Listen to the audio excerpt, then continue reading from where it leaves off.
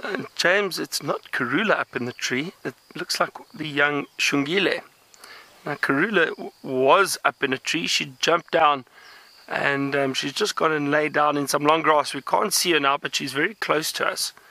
Well, hopefully she'll stand up and we'll be able to show you, uh, show you her. But um, what a wonderful tree for this young leopard to climb. Now, it's in, actually incredibly high. Amazing how agile they are, able to climb these trees. Now, the carcass is still in the same position. So, Karula obviously didn't feel like she was threatened. And I mentioned it yesterday with the long grass at the moment um, and the very thick bush, it often masks the scent of, of a kill uh, fairly well. So leopards don't necessarily have to hoist their kills as much. But have a look at that large marula and that leopard right up and that and that lying on that branch.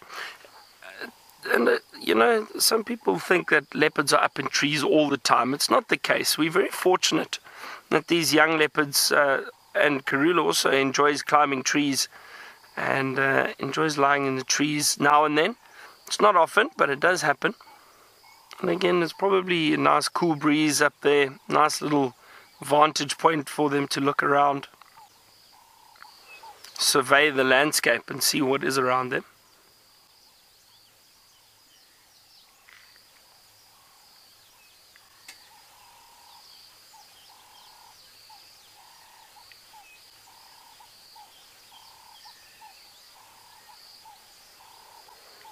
Uh, Cressy, I'm not sure. It's very difficult to say where leopard's favorite place is during the course of the evening.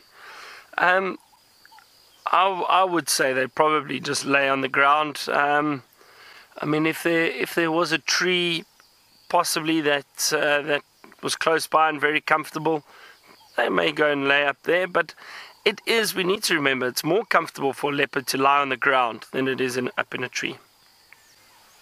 So I would say, I would say probably just in a in a little thicket.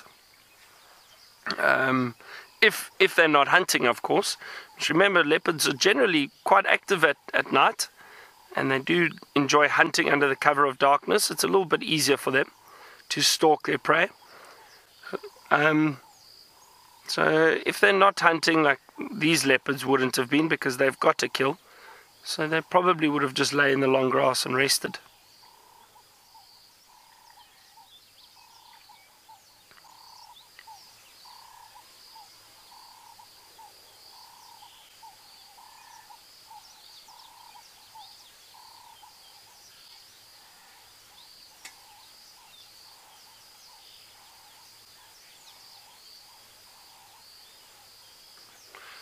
The um, the leopards don't really hunt from the trees.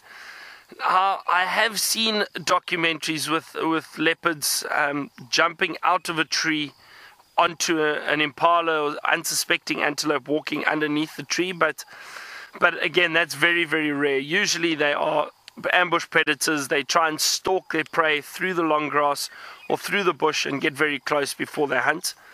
Um, so I wouldn't say that it never happens, but it's very, very. I think it's quite rare for it for it to happen. Oh, there we go. Here's the young male. Speak of the devil. Look at that.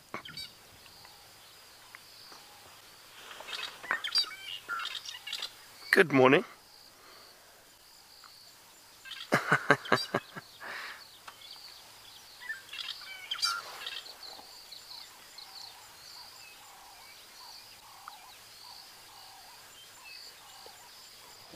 This is so great. He's so close to us. I'm just going to keep my voice down a little bit and see what he does.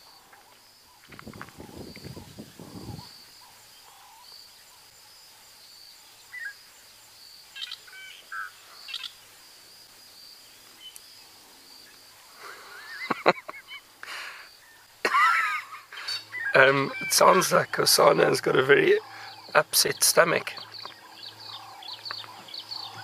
possibly too much Impala last night.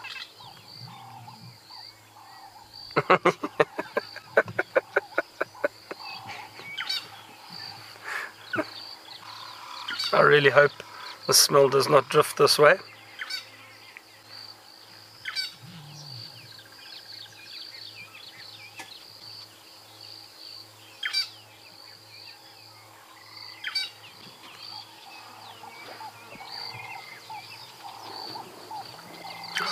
Curious to see what he's going to do.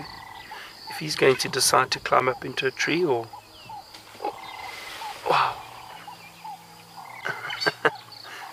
there, there he is. Look at that. It's just at the top of the tree. A little bit higher. There he goes. Look at that.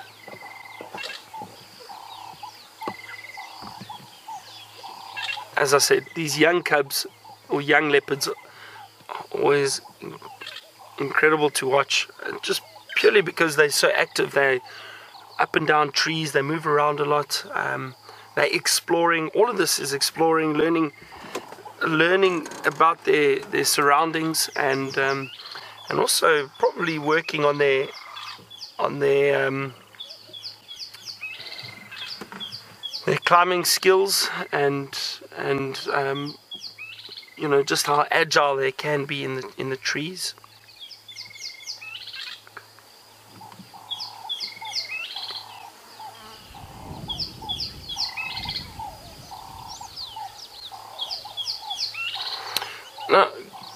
Cressy, it's that's a good question, and I'm glad you asked that because I I do sometimes think it is very difficult. You want to know how do we distinguish the leopards?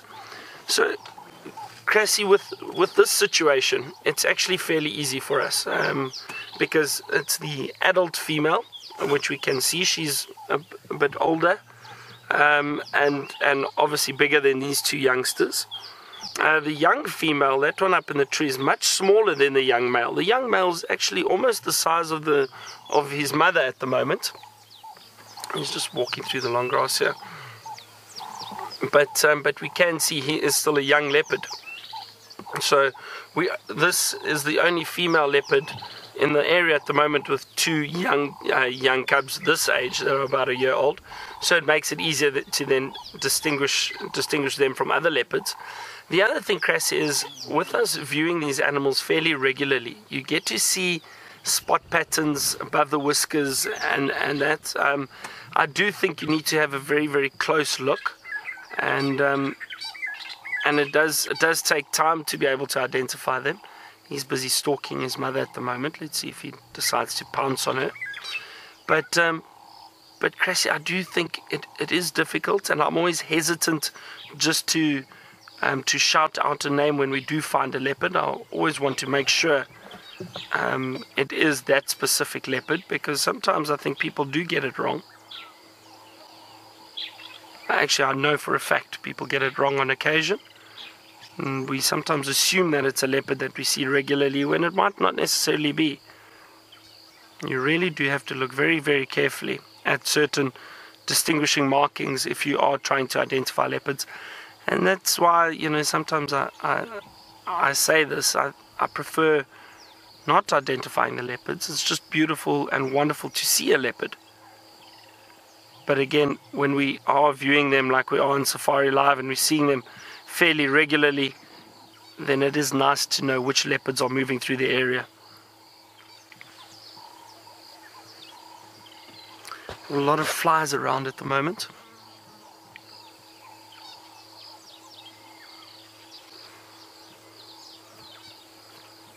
Now, this is great. Yesterday we saw the young female being very playful with her mother and rubbing up against her and sitting in front of her. Now, now watch how you can see Karula every now and then hissing and snarling at the young male. Um, she doesn't. I mean, she's she's playful, but she doesn't. She doesn't want her cub sitting on her. That's for sure. Look at that. Interesting. Now, as I said, when they get a bit older, uh, you'll see you'll see she will start hissing and growling at them a lot more, and th those are all signs that she's pushing them out. She's going to try and get them to move on and become independent. That usually happens at about a year and a half, on average.